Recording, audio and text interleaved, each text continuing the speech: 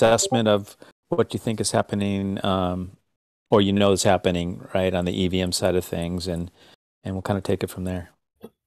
Okie doke. Um, let's see.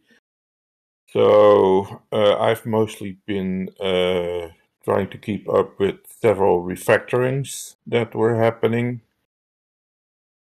Um, we we refactored the agent ID to include uh, Ethereum addresses, and uh, to do that, we refactored it into an interface where it was uh, a structure before, and now every type of agent ID has its own structure uh, that that uh, follows the same interface. And those changes uh, meant that I had to change some stuff because the byte serialization uh, changed. We also, uh, or at least I encountered so many we- weird ways of printing uh, agent IDs and addresses and such. There was no consistency there. We had uh, hexadecimal dumps either with or without a 0x prefix. We had uh, back to 32 encoding, which uh, has uh, a network prefix, which which caused all kinds of havoc. And so I uh, started rattling the cage about that and uh, the result was that we did some refactoring on that to create consistency. Uh, now we we always use bech32 encoding, and mm-hmm. to be sure that that works better, we uh, had to refactor the configuration because the bech32 encoding includes the network ID and the network ID is not something you want to pass around to just about every function because that's uh, that's stupid. You only load it once in the configuration and then you get it from a static static single variable, right? But it was being passed around uh, in to several functions, and so yeah, it it, it was quite a, a messy bit uh, that had grown over time. Uh, some parts were old stuff, some parts were new stuff, some parts were new users doing it their way, or new uh, developers doing it their way. So uh, me and George uh, straightened all that out. Uh, we discussed how how to get consistency. So all addresses are now always uh, bech32 encoded. Uh, like I said, the, the the network ID is in there. So, for example, the testnet will have uh, I2A as a prefix, whereas the mainnet will have IOTA. So I2A is IOTA reversed, right? Mm-hmm. And we can have uh, different prefixes for Shimmer and for assembly and whatnot, and thereby that's a, a feature um, the transactions are going to contain this network ID as well. And that is to combat replaying uh, on different networks. So, since your transactions are signed with the network ID inside, uh, you cannot simply replay a transaction for the same address or for the same whatever on a different network because the signature won't match because it's a different network ID and the messages with the wrong network ID will be rejected. so that's uh, sorry, I've uh, frog in my No worries.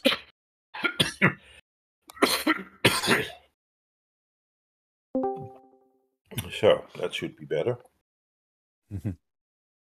Uh, this whole dying thing is a slow process. uh... Anyway, uh, yeah, so all that refactoring uh, meant uh, quite a bit of work because, of course, I had to uh, do my equivalent types in the WASM library and had to do that in three languages. So that was a, a, bunch of testing that we would need as well. So I also set uh, Hao to work to create all the tests that we needed.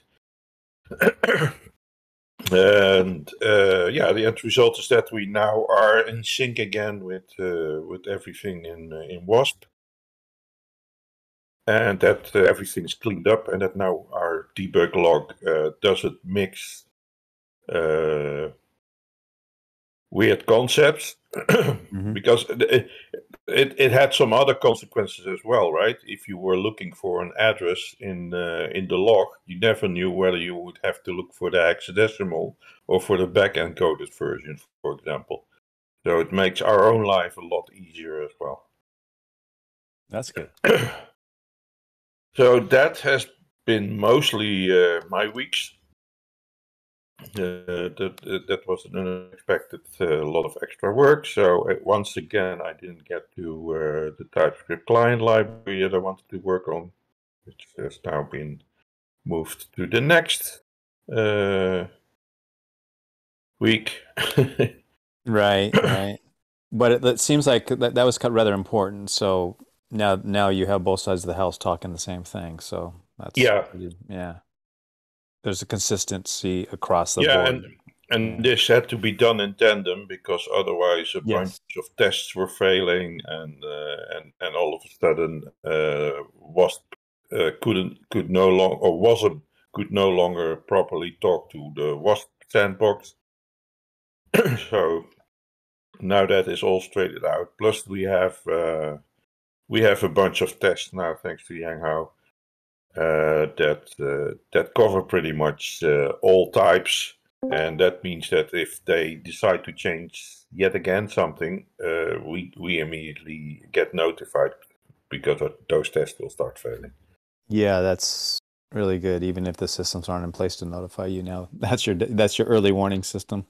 yeah, uh, i I like uh, paranoid programming. Every every time I need talk to some other system, I uh, set up a wall of tests in between to make sure that it's working the way I expect it to work. And then any change that happens on the other side is immediately triggering failing tests, and thereby uh, I will not be running with any uh, stupid bugs or anything. right. Um. So that's pretty much it on my uh, Yang Hao's end with the the WASM stuff. Um, the all the tests that Yang Hao created for uh, the generated interface to the core contracts. Uh, that task has also been completed. So we have a, a, comprehensive set of tests now that test the interface, not not necessarily the content. We don't really care much about that. But this, these tests will detect any changes in the core contracts interface, and then we can change our uh, YAML files that describe the, the core contracts accordingly, so that we we don't uh, uh, get way behind any core contract changes like we did in the past when uh, when the whole Stardust thing started. So yeah, those tasks are done. That's great. Um, then what what are other people doing? Um, I believe uh, Diego is working hard on on some EVM related stuff, getting several parts of the sandbox to work. Um, um, we've had uh, several discussions uh, with respect to the future, um, uh, the whole assembly uh, concept, to see what is possible and what is needed, and whether we're going to focus on parts of assembly already or not. And um, that is going to be uh, well, it's going to be fun. Let's say. um, mostly this was triggered because of uh, the the several rug pulls that were uh, happening in the last few weeks in the crypto uh, community. Yeah. Um, and of course, Evaldas has his own personal view, which I very much agree with uh, on what is going on, and that is that most uh, things like uh, well the roll-up systems in uh, that that they're creating, etc., mm-hmm. to to to to verify that everything is uh, correct.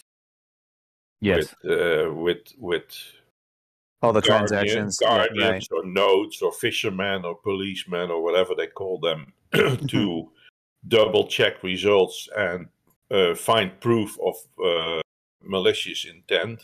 Mm-hmm. Um, well, we just saw how well that works. Um, it's fun because they could prove malicious intent after the fact. Yeah, that's exactly that. That's the whole thing with. I've always thought about this. Is just that. Yeah. Um, so yeah, you have this... seven days to be able. If if you're a malevolent actor, malevolent actor, you just say, "I got seven days to be able to like, you know, take take whatever I can get and just disappear, right?" And then it's like yeah. oh, they go, "Hey." Then you come back with seven days later and say, "Oh, hey, we found out that there was an issue here," and they it's like it's like, well, that guy's like like I got yeah, on the, it, the bank, got on the freeway, and has been driving for five five days. You know. yeah, it's it's it's it's like uh, the the ATM at the bank uh, doesn't need need your pass right now and starts dispensing money like crazy, and does that for, until the entire ATM is empty. And then the bank says, "Oh, look, we have proof that this ATM is failing, but the money is gone and unretrievable." So what's the use of uh, those kind of proofs, right? Mm-hmm. Uh, especially given the fact that uh, if you start looking at zero knowledge proofs, that uh, they require a ridiculous amount of resources to construct, which means that you'll be happy to have one transaction per second in your network, mm-hmm. which is well completely bonkers and and, and it doesn't scale. So the technology with respect to zero knowledge proofs is, uh, is in its infancy, and uh, even though we looked into it, we're not going to be uh, doing anything with it for now.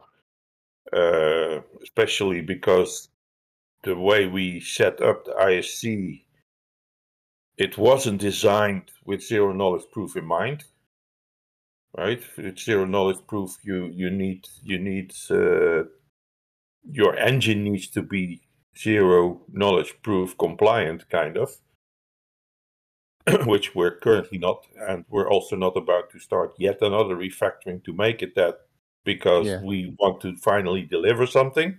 Sure. And um, all the research and such is still years out. Um, let let other people uh, break their neck on that for now, and uh, we're just going to continue on the path we're continuing. Um, the whole proof situation is kind of well. I feel it as a, a, a completely nonsensical thing. It's it's it's nice to be able to detect that it's happened so so you can plug the hole and it doesn't happen again. But in that regard it's more like a unit test yeah. than that it protects you. Right? And you want you want to prevent malicious stuff. Yeah. So we've we've been talking about ideas and there are one or two ideas floating around that might be able to uh, help. So a research department is looking at that. Mm-hmm. Um, so another way to tackle the problem, totally. Yeah, a, yeah. a way a way to more like uh, mitigate the problem. Right. Um, an, an example that uh, came with is um, not being able to take out everything all at once, but having to go through a number of steps if you want to uh, want to press the collect button, Mm-hmm. and then uh, uh, match that up with the stake that is there, so that you can never withdraw more value than your stake or something like that. Kind of a Uh, multi-factor verification. Yeah, but it, it still has, has has a lot of problems as well, right? Because um, I mean, if I withdraw an NFT that's worth uh, ten million and the stake was only ten thousand dollars, well, I cannot split it up in multiple. So the the real world value could be hugely different from the stake.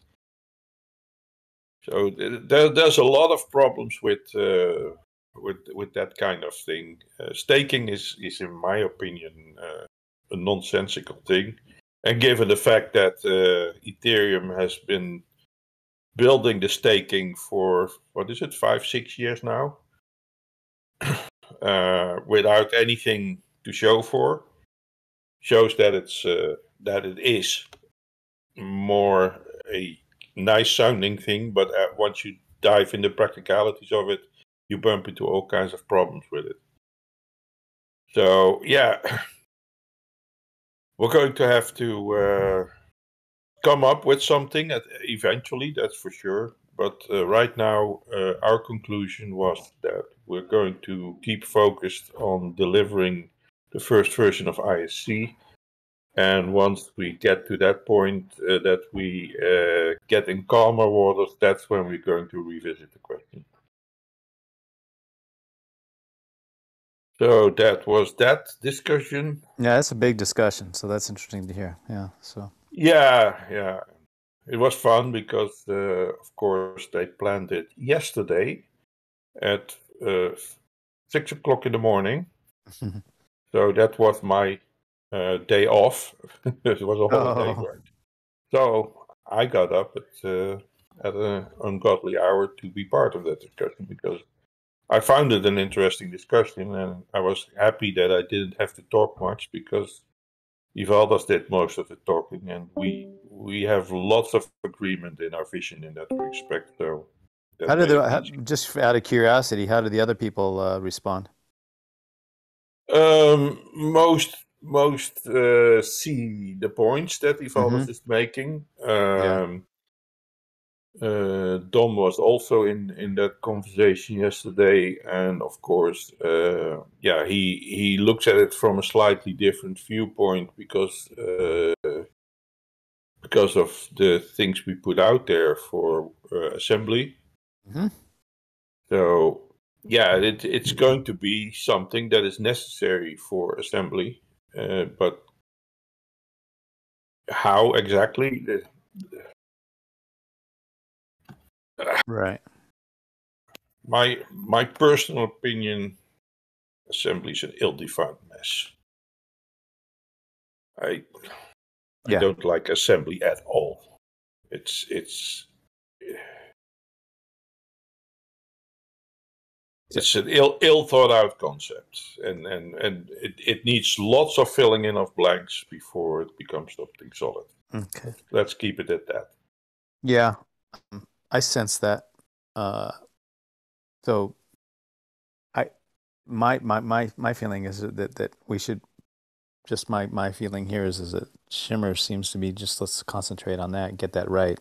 Exactly, exactly. Yeah. So, uh, as far as that is concerned, the uh, the Hornet network uh, is uh, is moving forward nicely, and we're we're quite confident that the initial test network, or potentially without ISC uh, already running on it, is the I don't know, about six to eight weeks out, which matches up with everything I've been saying. Uh, yeah, it sure does.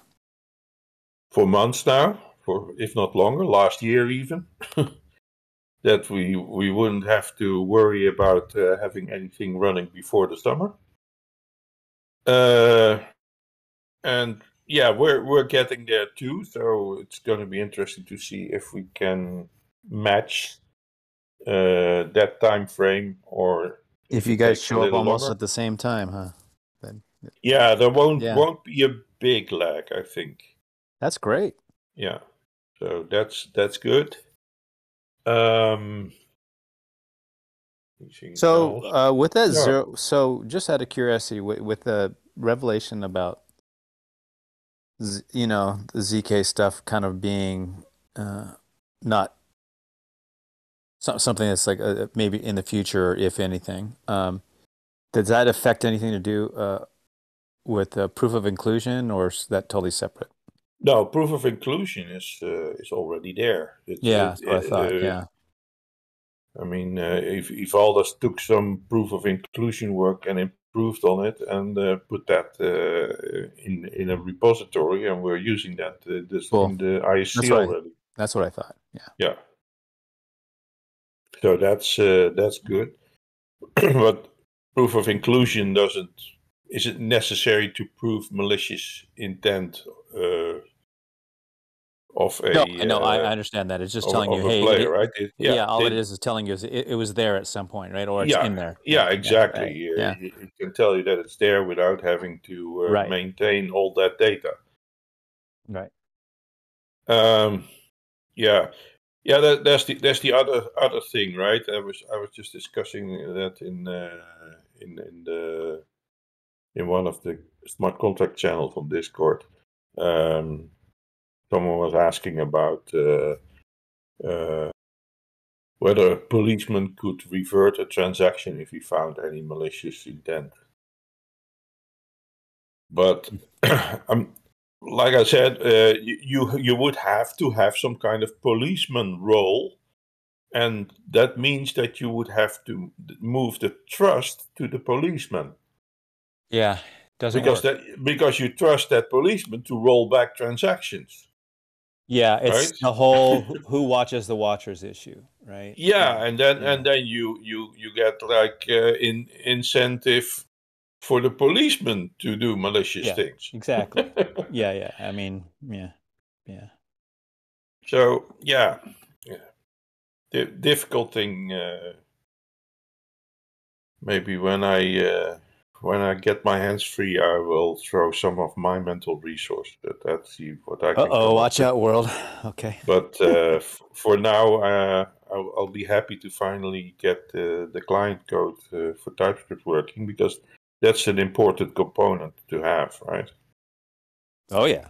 Ev- Every uh, smart contract needs an interface, and if, if the interface uh, code is going to be have to ha- going to have to be built by everyone, that's that's completely bonkers in my opinion. So s- a solid interface. is- Yeah, yeah. You, you know better. Yeah, you know that's the way to go for sure. Yeah. So we've got. Uh, we're basically now looking at uh, a, f- a f- well, like six to eight weeks. Things seem like they're going in a plan. Um, at least just concentrating on on Shimmer. Uh, any any gotchas or any things that you guys uncovered that says, "Whoa, this is going to need a little bit more work," or we haven't thought about that yet? Um, are you hitting anything new um, that's that's a blocker? No, not really blockers. Um, I do know uh, chasing one bug um, that shows up when we run uh, huge concurrency tests. One of those really difficult ones to figure out. Yeah. But you, I mean, you've identified it, and now you just you're hunting it down, and you're trying to re- duplicate it, right? And that's the hard thing, right? So, Yeah, yeah, and and I think we have an, an issue with uh, with the nonce value for uh, off ledger contracts, of off ledger requests. So those those are being chased.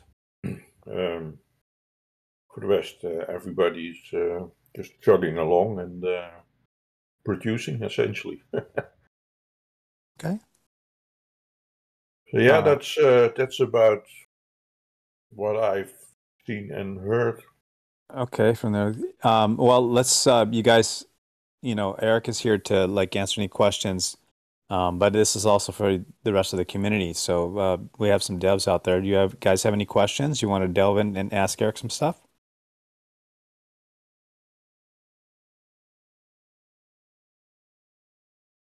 Well, okay. Well, we might be. Uh, we might be getting close to giving. I'm sorry. Did somebody say something? Yeah, no, I just had a, a quick comment. Uh, Eric, I'm still here waiting and willing to help with the Rust client code. Uh, I know that's been kind of punted. I kind of threw my hand in the hat, I don't know, weeks or even months ago at this point. I'm happy to do that. I know, it, as you rightly said, TypeScript is more important to get done. I'm anxiously and eagerly awaiting to be able to run anything on Shimmer. Yeah. Otherwise, so yeah. I uh, I know. Um, the thing is, um, I have the initial interface in Go working, and I'd like to get the TypeScript version uh, with the same kind of interface working as well before uh, solidifying the interface, and then I can pass you the the interface specification. Uh, this is uh, what it needs to do, and uh, then I I can just uh, have you do your thing. But to do that, I first need the specification to be solidified. So. Yeah, sure. Chicken or I'm the egg, recognizing yeah. more and more the necessity um, and broader applicability of uh, just a TypeScript and a web-based solution. Yeah, or maybe what I could do, because there there are certain functionalities that will be necessary. Maybe I can uh, chop those up already, so so you can have those kind of as as components that can be used. That might be an idea. That way we we work more in parallel. Yeah, I have, you know, uh, not to pressure you in any way, but I have other things as well, and I need to kind of allocate Yeah. time and prioritize to know when. Like, Of when I can course. hop onto it. Of course i don't think take that thing for granted but uh, yeah like i said i've i've been i've been distracted so much in the last uh, few months that uh, every time i pick it up i have to almost start from scratch in my head because it, I, I, it's been uh, been weeks since i looked at it Sure. Yeah, context switching has an enormous cost. I realize that as well. Being Yeah. Different projects at the same time. Um, but yeah, just getting getting Shimmer over the line is more important than you know one more client language of choice. I can I can use TypeScript as is Kev in the community more than Rust. So that's it. Yeah, for sure. Sure. Um, if anybody here um, knows of a Solidity developer, um, let me know. Um, I have several requests from people in the community, so a DM, DM me or whatever. GMN two one four. I'm trying to help uh, community members uh, allocate resources out there. So, um, you know, I, I I think this is probably you know a hail mary, but I just got another request from somebody, so I thought I'd just ask. So if you know anybody, send them my way. I as well. I don't want to hijack that. I, but I, what I do want to comment onto that is, um, Eric, if you can speak more to the progress and the emphasis for EVM versus the WASM based contract, um, which one will, in your view, get more love long term? Equal or is it 95.5? by two. I wanted Rust the same. i have no You're, asking- you're asking the guy clue. who's making. You're asking the guy who writes WASM if, if he thinks EVM is going to beat it. Yeah, I know, but you know, I, I gotta, know. I gotta be. Let's, yeah, yeah. Yeah i i have no freaking clue actually Okay. um it's uh, the whole DeFi environment, um, as as it's built uh, on on the Ethereum uh, side, that is actually the the carrot that caused the EVM to be pushed forward. Right? We, we Yeah. want to be able to quickly leverage that ecosystem. Uh, however mismatched it may be. So yeah, um, I I don't have the overview of that. Um, I'm just building a, a generic um, engine uh, that provides everything that the Wasp Sandbox provides. uh, so we can do everything. Um, the way Diego set up the the EVM with a special uh, built-in contract that can be called, which is essentially the sandbox interface, makes it so you can have uh, Solidity code and such calling EVM or calling ISC uh, functionality, sandbox functionality. Uh, but it's different than just um, just deploying existing DeFi code on the IOTA chain.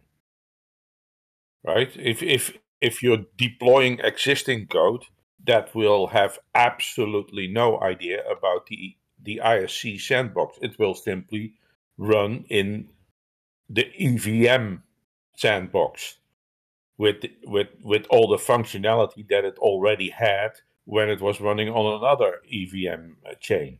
Right. Right. So if you want to add to that specific things that IOTA provides, you will have to write code that actually uh, talks to the sandbox. In Solidity in this in this uh, instance. And that means that uh, yeah you're going to somehow have to integrate that with your the rest of your defi so what makes sense in that regard right? Um, you can you can use the foundries for example. I, I'm, I'm sure that that functionality will be there. And create tokens and whatnot. But you would somehow have to wrap that in an ERC interface so that the other DeFi components can use it. And then the question becomes is it, is it possible to wrap it in an ERC interface? Because, as I've indicated uh, a few times in the past, once you start looking at ERC, you see that the ERC contract has to keep track of every token to keep the administration straight. But if you have tokens that are running on the IOTA chain as native tokens, they can be passed around from address to address, and there's no way for the smart contract to keep track of where they are.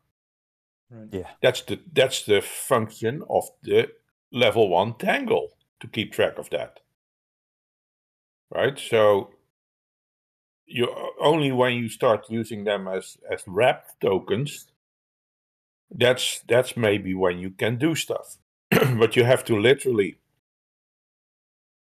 uh, wrap the tokens inside your contract so that they can be used by the contract and by ERC contracts by ERC aware contracts, let's, let's say that, that but because ERC uh, 721 or ERC 20 yeah. or whatever, right. it's an interface, right? Mm-hmm. it provides you with a way to uh, access an accounting system, essentially. Right? It, it allows you to deposit, to withdraw, to, to send tokens from A to B, uh, all those kinds of things. And uh, in addition, there's some functionality to create tokens and to destroy tokens and whatnot. Well, that's that's all nice. so essentially, what you would get is that if you have tokens that are have been created by an IOTA foundry, they run wild on the IOTA chain, on the IOTA tangle. So what you would get is that at some point somebody would send tokens to a smart contract. That moment, the smart contract becomes the owner, inflates its supply of that token as a wrapped token. So it keeps track of all the tokens it knows about because it holds them. It's much like an uh, like an exchange keeps accounting, right? You send tokens to the exchange, and the exchange keeps track of who owns what. Well, that is what the smart contract accounting system does at level two. If you send tokens, the accounting system keeps track of who owns what. Well, if your token is governed by a smart contract, then you get actually yet another level where that smart contract becomes the one that has to keep track of who owns what within the smart contract. Because the accounting system of the chain handles the accounting for multiple smart contracts that run on that chain. Right, so you get a level three accounting uh, within your smart contract somehow, where the tokens are wrapped, and then that ca- that could interface uh, or function as an as an ERC interface. But you have to write the whole code that wraps everything and handles everything correctly, and uh, controls the foundry, for example. Uh, you will have to write that code specifically to be able to connect to anything that uh, that has an uh, ERC 721 or ERC 20 awareness.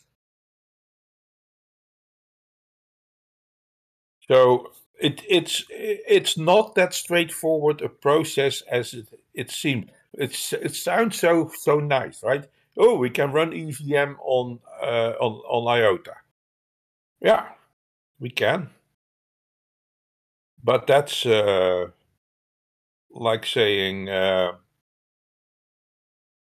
we we we can we can have uh, somebody who just got uh, got a driver's license drive a Porsche or a Ferrari. Um, I wouldn't want to be near that person when he drives those things because those things are lethal weapons for somebody who doesn't know what he's doing and doesn't have the experience yet of, of what those machines are doing. Um, you can say, yeah, he can drive them. Yeah, yeah, sure. But you have to drive it responsibly, correctly. You, all the extra things it can do compared to a normal car, you want to add. If there's, uh, uh, you, you, remember those those uh, Fast and Furious cars, they always have uh, have an NOS button somewhere, right? Where they push the button and then all of a sudden the car goes like uh, twice the speed of light or something like that. Well, you need to know how to use that and you need to be able to control your car when it speeds like that well that's what you need to do when you connect it to isc right you need to know what you're doing and you need to have an intimate knowledge of how the tokenization framework on isc is working to be able to wrap it in an in an ethereum style contract so that it can talk to other ethereum style contracts that were already existing and are part of an an existing large uh, DeFi uh, uh, setting system. So that's that's EVM. Uh, on the other side, with the WASM side, we don't have an existing DeFi. We can build it all, but we're going to have to build it all essentially right? Uh, that that's one of the reasons that I created the schema tool is to take the the the drudge work out of the equation because otherwise they would have to write all the interfacing code etc themselves. Now they can can concentrate on, on building smart contracts with a given functionality.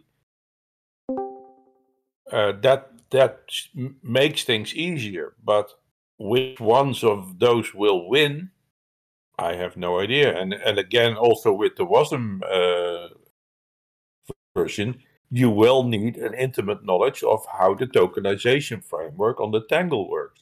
because you're still going to have to wrap all kinds of stuff in smart contracts. So, for example, if I create a, a token governed by a smart contract, well, the smart contract gets a foundry and controls the foundry. And in a similar way as I described for the for the EVM, for the ERC contracts, uh, those tokens are going to be wrapped in the smart contract for the contract to be keeping track of the the amount of tokens there are in in going around for example right um, it's there's a lot of knowledge involved so i i uh, i can re- really recommend uh, digging into the, the the tokenization framework uh, stuff that we have uh, limited as it is to get an idea of what it is you can do because the, the amount of things you will be able to do is staggering. There's there's all kinds of very interesting stuff that you can do that that are begging for all kinds of applications. Right? Um, mm-hmm. The the fact that you can uh, well time time lock functionality with an IOTA twist, let's say, yep. uh, is is very powerful. You can do all kinds of things with that. Right, so I I I bet I'm betting that uh, the first few applications that show up are swapping uh, applications.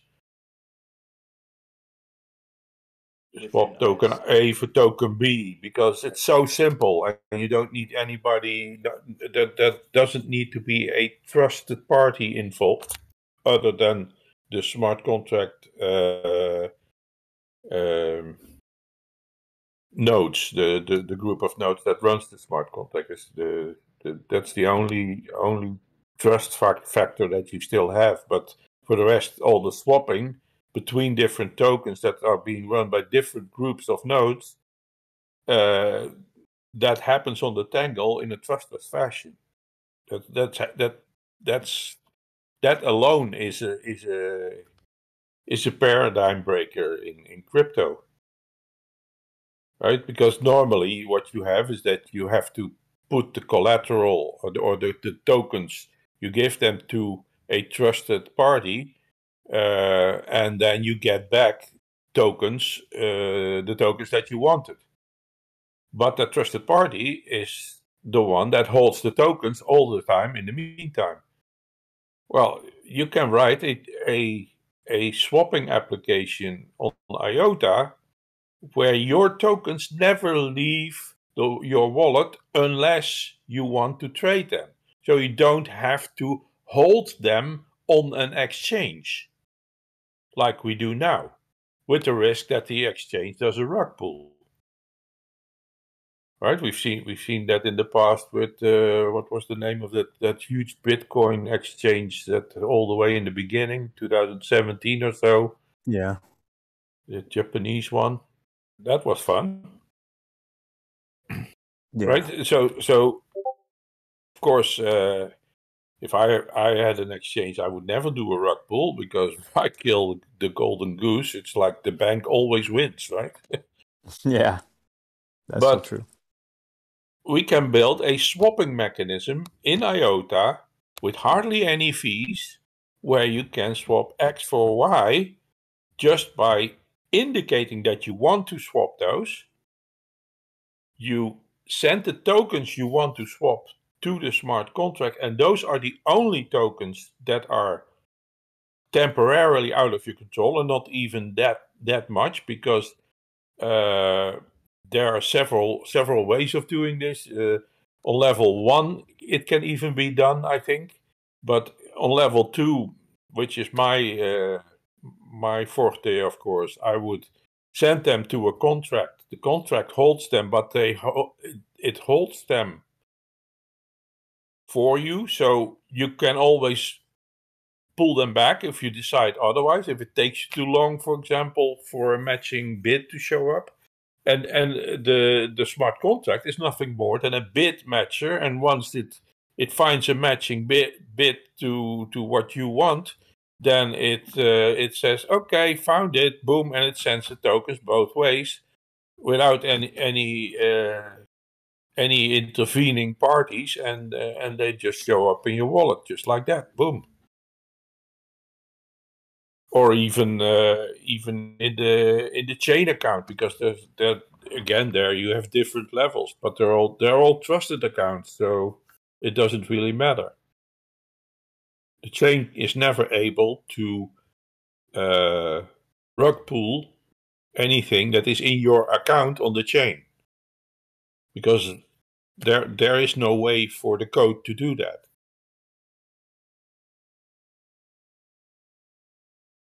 so level 2 accounts on change are are pretty safe of course the, the safest mechanism is having your own tokens on the tangle Yeah. uh, in your own wallet but level 2 chain wallets i i'm the, the the way I see it is that people are going to if that that use people that use smart contracts a lot are going to be uh, depositing into their corresponding level 2 accounts so that they just have an amount of tokens to play with there so that uh, you don't have to go through the tangle for every single deposit that you need to do on the chain. That allows you to do offline uh, smart contract calls, smart contract requests, off ledger requests, and those are blindingly fast. They they are instantaneous essentially, right? They don't need confirmation on the tangle. It's just, oh, you have the tokens. Okay, the tokens are there. So, boom, let's start processing your request. And that's going to be quite a game changer. I think you will you will see more uh, more tokens being held by chains where people uh, can can use them. And the thing is, if you put them in in a, in a, in a chain, uh, you can just recall them. You can withdraw your tokens at any time, right? Yeah. You you have your account there. That account is associated with your address. You have the private key of that address. Nobody else has it. Nobody else can touch it. You prove that you own your account, and you get your entire deposit that's over there, minus a few gas fees or such. You get it all back.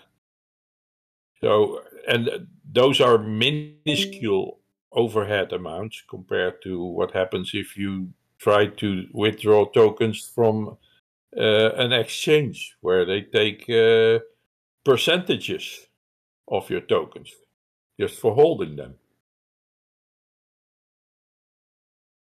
So I think it will be be much easier for people, and they will once they figure out how it works, it they will be much more inclined to have part of their tokens sitting in in a chain because it's just as safe there essentially Yeah.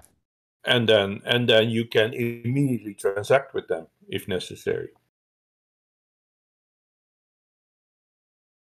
That's the L1 fun. I mean, that's and uh, it, it also takes away uh, a headache uh, or well headache uh, a slight headache which is the dust the dust deposit uh, yes. bullshit, right? If if you have your token sitting on the chain, you don't have to take dust deposits into account because the tokens are there.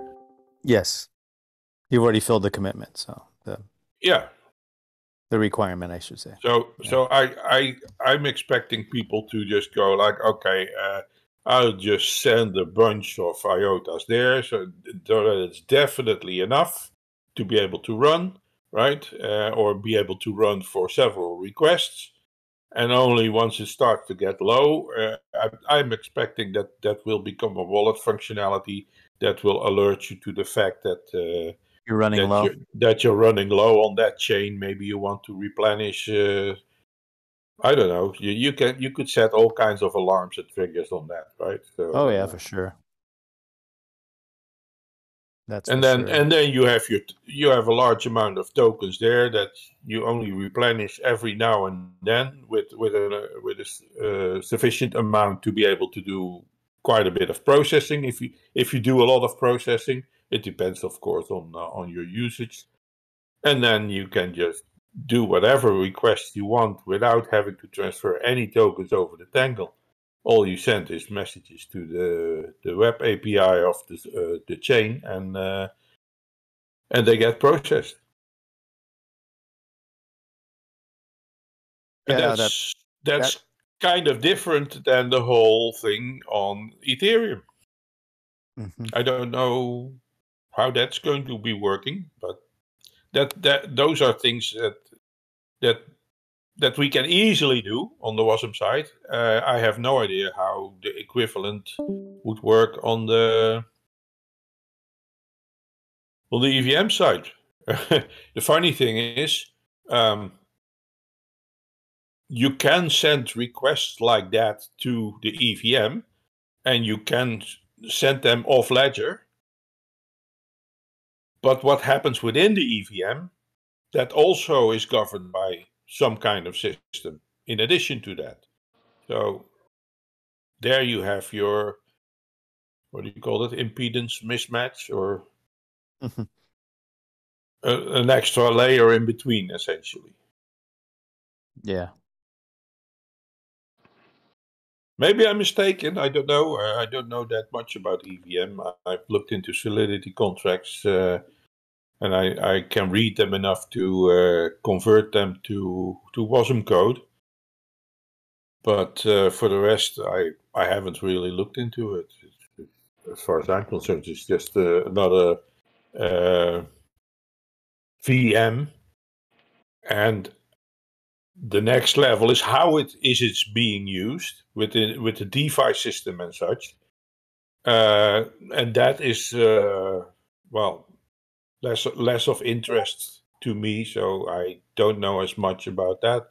That's just essentially where I'm the tool builder, and other developers use those tools to actually build software that users will use. Yeah. It'll be interesting. I mean, obviously, you're building a more theoretically a more performant and more capable system, but you know, it's all it's it's going to be the decision of the marketplace. It's like, okay, can can that get past the, the crowd noise and the and the largesse of uh, what's already out there in the EVM world, even if it may not be as capable in some aspects. So that'd be interesting. Uh, Well, it, it might be that that EVM is is the way into that system, right? yeah, the Trojan Uh, horse. But yeah. by sl- slowly adding functionality that uh, that requires IOTA, and once that turns out to work really well and and cheap and fast and etc., people will automatically gravitate to those systems that are using uh, the tangle uh, under underwater, right? Uh, and then yeah, we'll, we'll get. I guess we'll have to see.